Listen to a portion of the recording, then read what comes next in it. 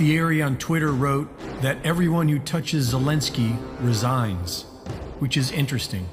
After failing the UK at every opportunity to serve globalist interests, Boris Johnson resigns as Prime Minister. To which the Russian Kremlin expressed good riddance. Italian Prime Minister Mario Draghi, who helped deliver Italian weapons to Ukraine and rallied support for Ukraine's entry into the EU, announced his resignation. Last month, Estonian Prime Minister Kaja Kallas expelled the populist center left Center Party, claiming that she needed to form a new government to support Ukraine in their war against Russia. And on Thursday, Kallas officially resigned as a formality to form a new government, which he has already reached a consensus between the center right Reform Party, the Social Democrats, and the conservative Fatherland Party to form a new three party government to support Ukraine. And Sri Lanka's president, Gotabaya Rajapaksa, who supports Ukraine despite sanctions crippling his own nation, emailed in his resignation after fleeing the country. Beyond resignations and beyond meet and greets with Ukraine's puppet President Zelensky, we have also just seen the assassination of popular anti globalist leader Shinzo Abe, and the dramatic loss of confidence expressed by the people towards Macron, Trudeau, and Biden. What is happening here? On Celia Farber's The Truth Barrier, Catherine Austin Fitts explains that we are seeing a cleanout or political castration of leaders. Draghi, Johnson, Biden, Macron, Abe. Their political capital is exhausted, and or they will not push the next wave aggressively. Mr. Global is looking to bring in a whole new round of fresh, meaner leadership. The next wave is total collapse. And it's not easy to find people willing to be the fall guy for the destruction of a nation.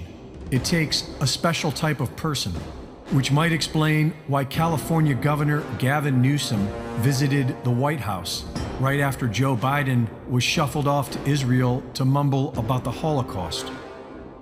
Biden is even unsettling to the stupid, and this entire operation requires stupidity.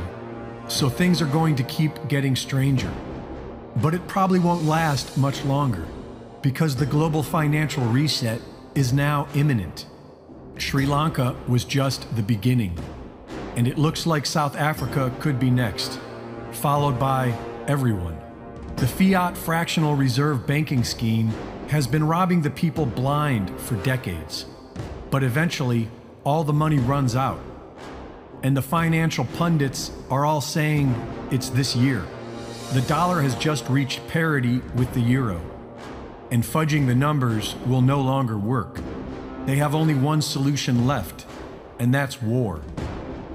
War has often been used to save failing fiat currencies, and having no other options, the psychotic bureaucrats in charge will go to war with Russia, which will only hasten the financial collapse of the West.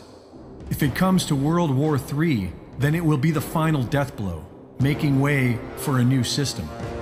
Which means that unless you're holding on to real money, you will soon be broke.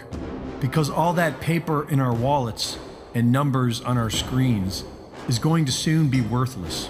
The mass formation psychosis is strong over the United States. This is the liberal world order foisted upon us by our self serving occupier in chief, globalist tool, and New World Order zealot, Joe Biden. The affirmative task we have now is, uh, is to actually um, uh, create uh, uh a new world order. And as the Constitution, ignoring occupier, continues to split the country by feeding it into the clutches of Marxism. At a time of record inflation, and as new polling this week shows that 85% of the US public thinks the country is going in the wrong direction. How do you explain this to those people who feel the country is going in the wrong direction, including some of the leaders you've been meeting with this week, who think that when you put all of this together, it amounts to an America that is going backward? They do not think that. You haven't found one person, one world leader to say America's going backwards. As bad as the tyranny was in 1776, in many ways, as I say, it's worse now in 2022 mm. because the far left, unfortunately, has taken control over the five major megaphones of our nation, meaning the media, entertainment, academia, and of late, science and medicine. And people don't realize what they have. They bitch about it. And then nowadays, I am so upset that the things we did and the things we fought for and the boys that died for it, it's all gone down the drain. Our country's gone to hell in a handbasket. We haven't got the country we had when I was raised, not at all. Nobody will have the fun I had. Nobody will have the opportunity I had. This is just not the same. That's not what our boys, that's not what they died for.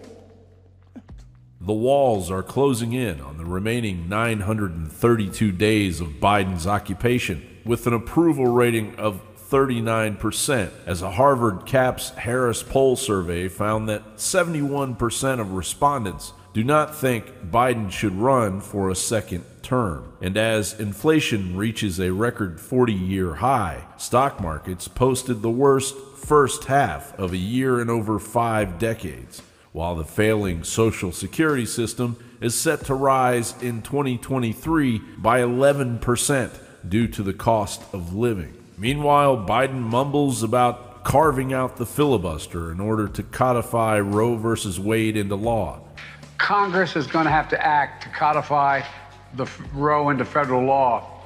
As, as I said yesterday, the filibuster should not stand in the way of us being able to do that. But right now, we don't have the votes in the Senate to change the filibuster on, uh, on at, the, at the moment. But the occupier in chief faces a midterm pummeling, making it impossible for his dictatorship to continue to thrive. I don't care if you think I'm Satan reincarnated.